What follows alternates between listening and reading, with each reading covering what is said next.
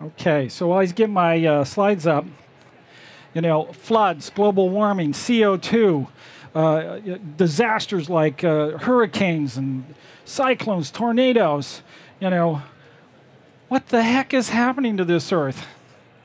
The garden spot is soon going to be Mars. So before we go there, I want to tell you about our efforts in terms of looking for life beyond Earth and where we are, okay, at this place. And indeed, the first place I want to stop at is Mars. Um, doesn't have anywhere near the, the effects uh, that we see here on Earth, but indeed, uh, we have had a, a, a, number of orbiters and landers that have been uh, examining Mars for about 50 years. And because of that data, and we've been accumulating it and analyzing it, we can really get a pretty good idea as to what's happened to Mars over time there's clear evidence that in very early on, three and a half billion years ago, Mars was a blue planet. It had a significant amount of water on its surface. It went through rapid climate change, and we don't know what that was exactly. We don't even know how fast that was, whether that's 100 million years or half a billion years. But indeed, it went through this climate change, and then now it's the more of the arid world that we see today. So if we were looking for life on Mars, it's really about looking for past life. Now, there may be some evidence that there's life there today. We're actually uh, getting methane observations. Methane uh, is, uh, could be generated um, abiotically in addition to uh, biotically. And so those observations are really critical, and we're after understanding those to, to the point of determining if they are uh, an indicator of, of uh, uh some of the microbes that may be in aquifers that lie underneath. Um, uh, the planet and all over the places. So this is an artist's conception of what Mars may look like in its past. Its northern hemisphere was prim the primary ocean, and at some place it was uh, underwater by more than a mile. So this really is a significant amount of water. And in fact, a lot of our missions where we go and we examine on the ground and look for a variety of uh, traces of organics and, and many other things is in the ancient shoreline of Mars. Okay, this is where indeed water come and go. Now we have plenty of evidence uh, that we've accumulated, and here are uh, the missions that have landed on Mars. Those, uh, those that are in red uh, have come and gone. Um, the um, yellow ones are those that are going to land in the future. ExoMars is going to be uh, launched in 2020. It's an ESA mission. InSight we're going to launch on May 5th. That's where it's going to land. And Curiosity and Opportunity are operating today. Now, this is a Mercator projection of Mars where the color is altitude, and it's in a normal spectrum for which the reds are the highs and the blues are the lows. And so here, along the greens and the yellows, is indeed that ancient shoreline of Mars. And that's those are the locations that we're really looking at um, what Mars uh, can tell us about its past and whether life actually started in the ocean and migrated to land. Perhaps that's where it happened. What we're finding out from missions like MAVEN, for which when Mars lost its magnetic field, it really uh, was hammered by the solar wind. We believe this also happened fairly early.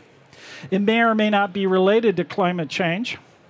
But from MAVEN, we're really getting an idea of how much the solar wind impacting the atmosphere of Mars has stripped it over time.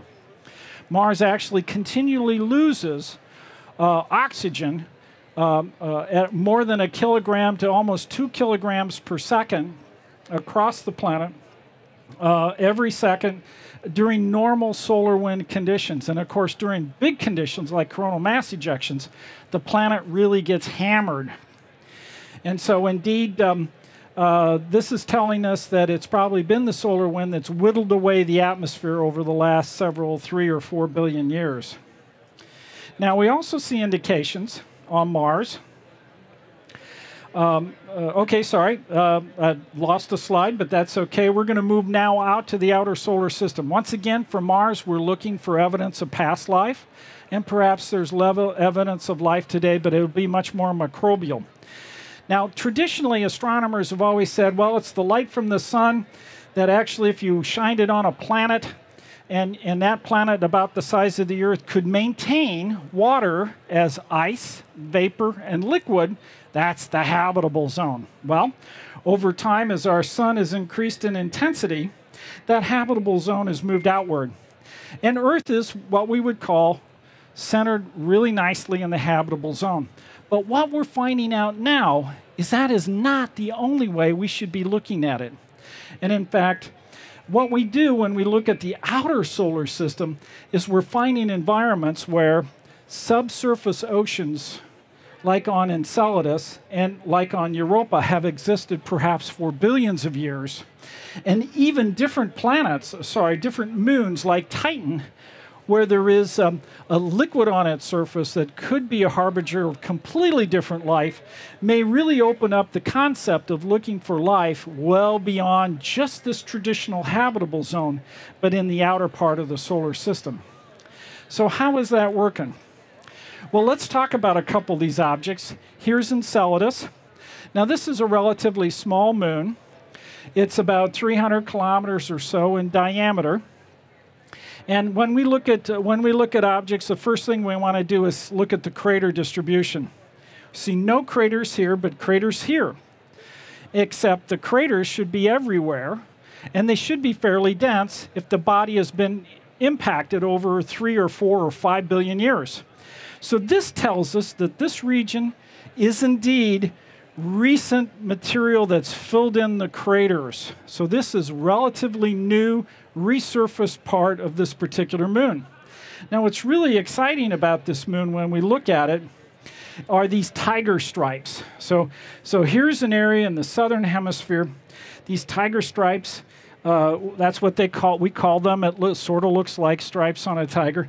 They indeed are huge cracks that actually allow access to lower layers in, in Enceladus's crust, and they seem to be much warmer. And what's coming out of these cracks, we now know, are geysers. And in fact, as you can see, uh, here are the geysers. And even uh, when we, we have the uh, tops of the geysers illuminated, we can see that these are not just geysers, you know, one like Old Faithful. Of course, there's nothing like Old Faithful. These go up to 150 kilometers or more. But it's actually a wall of water pouring out of the cracks, okay? So, when indeed we uh, fly through those and we take a really good look at what's in those, we find a fabulous mixture of organic material. We also find silica particles.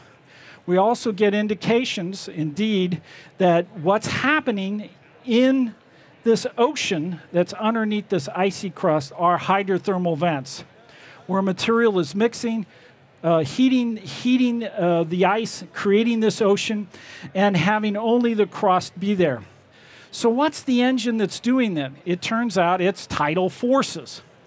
It's tidal forces from Saturn in this case.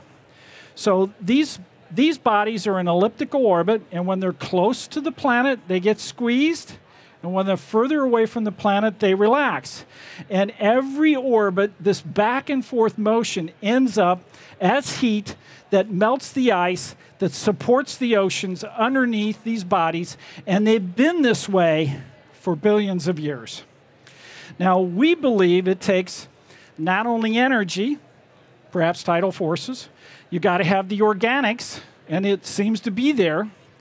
Uh, in addition to the water, we need the water as a solvent to not only extract uh, uh, uh, nu- nutrients, but then provides the waste. But you need time for life to evolve. You need time for life to develop. Perhaps here on Earth, that's 500 million years. There's some discussion as to whether that it takes it that long, but these bodies have been this way for billions of years. So it's really quite exciting when we look at this uh, indeed, we now believe there's been an underground ocean, sorry, undercrust ocean uh, uh, underneath the whole planet, and indeed, plenty of indication of hydrothermal vents. We've flown through these plumes many times now with Cassini. And in fact, uh, there's no more fly throughs because indeed uh, Cassini was running out of fuel.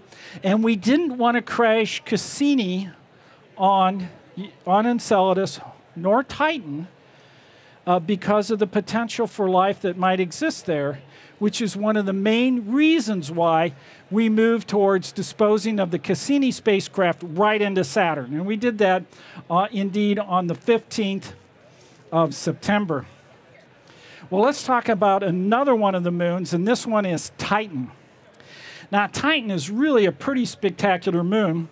It's a moon of Saturn, and it's bigger than the planet Mercury. Okay, it's bigger than the planet Mercury. Has its own atmosphere. The atmospheric pressure is two bars on the surface. Okay, twice the atmospheric pressure here. The atmosphere is dominated by nitrogen. It has trace gases of methane. But what, one of the really spectacular things about Titan is indeed that it has liquid on its surface. Okay? It is the only other body in the solar system with liquid on its surface. And not a little bit. These things can be bigger than our own Black Sea. And there's a lot of it, but it's not water, it's methane. Now, we also, through our radar observations, know how deep some of these lakes are. And many of these lakes, at least uh, Mare Kraken, is well below uh, the, the depth of, of uh, 200 meters down. So, uh, so this particular lake is absolutely enormous, and it's liquid methane. So, as I mentioned, when we talk about life needing water, needing energy, and organics, maybe life needs a liquid and the right kind of materials in addition to the energy to be able to provide life. And so, if there's any place in the solar system where we could go and satisfy that set of material and have life like unlike us, it's Titan. It's Titan. And we call that life weird life. So, with that, let me end and take any questions you may have. Thank you very much.